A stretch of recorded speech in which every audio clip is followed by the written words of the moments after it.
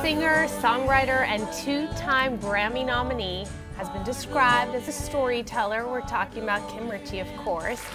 Storyteller, a weaver of emotions, a tugger of heartstrings, and here she is singing Just My Luck.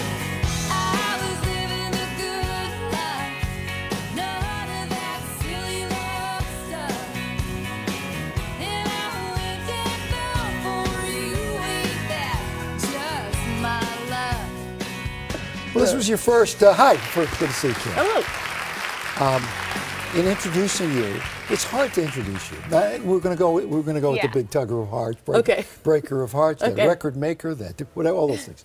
Um, it's hard to categorize you. Mm-hmm. Yeah? Is that an advantage or a disadvantage?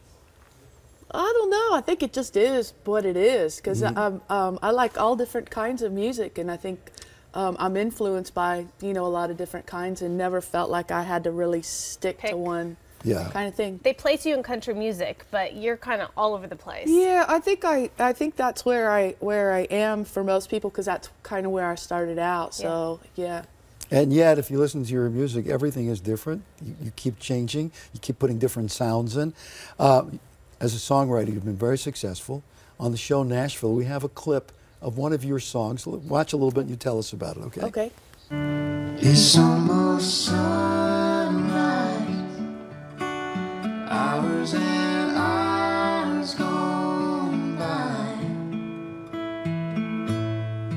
Candles are burned down. Sweet. Now, did you write this for Nashville or was it just a song? No, it's a song that was on a record called Bittersweet. It was the second record that I put out.